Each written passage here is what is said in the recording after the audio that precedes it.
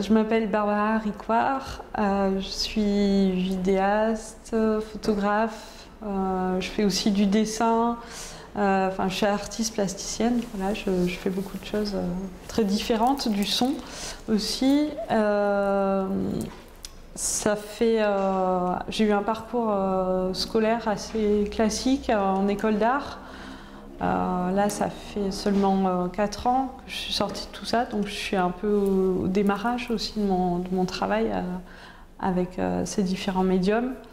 et depuis, quelques années, je m'intéresse surtout à des questions de, paysage qui concernent le paysage, comment on le regarde, comment on le, on le construit, comment on le représente.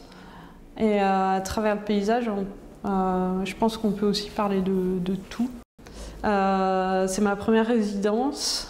Donc, euh, moi, je pense que de toute manière, une résidence, c'est euh, c'est aussi la volonté de s'immerger, d'avoir cette possibilité de s'immerger pour créer, chose qu'on n'a pas forcément l'occasion de faire dans notre quotidien si on a un atelier ou autre, ou si on travaille chez soi, comme c'est mon cas.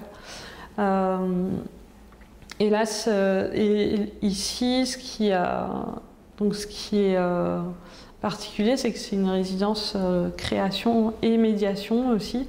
C'est que je vais intégrer aussi des ateliers qu'on va faire avec euh, différents publics, pas forcément scolaires, disons pas forcément scolaires classiques, on va dire, parce qu'après il y, il y a un petit peu de tout, mais l'idée est de venir euh, inviter ces publics à venir euh, se questionner aussi euh, sur, sur le paysage. Donc. Ce contexte, il est ni rural ni urbain, mais il est un peu un mélange des deux.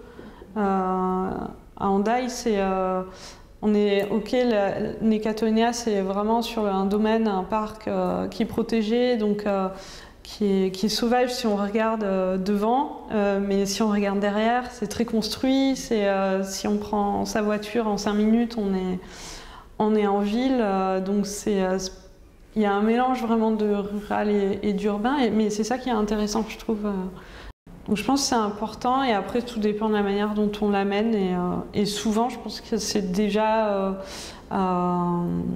c'est présent déjà dans beaucoup de résidences, euh, en tout cas en France, euh, en Espagne je ne sais pas, mais en France ça se fait beaucoup d'impliquer, enfin que la résidence soit aussi un moyen d'amener différents publics à, approcher une démarche artistique euh, de plus près. Du coup c'est ce qui a motivé ma, demande de, candidater à cette résidence, c'est que Déjà, c'est un lieu que je connais par euh, mon passé parce que j'ai grandi euh, ici au Pays Basque. Et euh, c'était un lieu avec lequel j'avais une, certaine attirance, voilà, que, j'aimais venir parcourir et observer. Et, j'ai voulu tenter cette résidence pour vraiment m'immerger dans ce lieu et le, questionner, justement, notamment à à travers ces paysages qui sont très construits mais qui sont aussi sauvages. Il y a un, mélange qui m'intéresse de, naturel et de, construit, d'artificiel dans, ce lieu.